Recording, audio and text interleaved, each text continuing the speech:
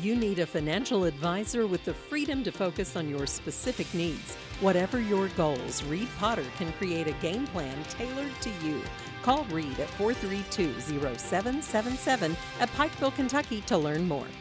October is National Healthy Lung Month, which works to increase awareness and education around good lung health. We spoke to Public Health Director Tammy Riley on the importance of lung health and steps you can take to ensure healthy lungs. There's lots of ways that you can ensure you have, you know, a long and healthy life, including uh, healthy lungs later in life. Um, first and foremost, don't smoke.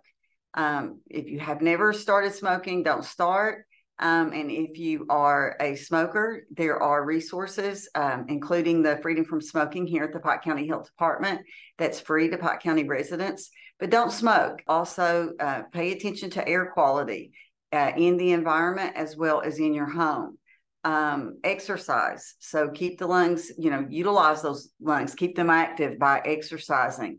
Doesn't take, uh, you know, marathon running to keep healthy lungs. Just Moderate walking is great uh, for the lungs, and also um, checkups. While smoking is a significant contributor to lung cancer, 20% of people in the U.S. with lung cancer have never smoked, so it's important to address early symptoms of lung issues. Some of the signs and symptoms you should watch for is wheezing, coughing, shortness of breath, chest pain, fatigue, and certainly like if you see blood when you're coughing, um, they really need to talk to their their physician, their private physician. Uh, they can certainly call the health department.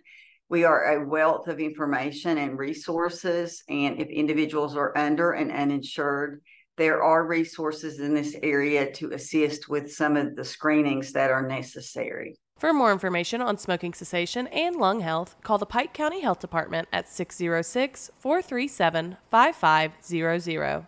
Reporting for Mountaintop News, I'm Brianna Robinson.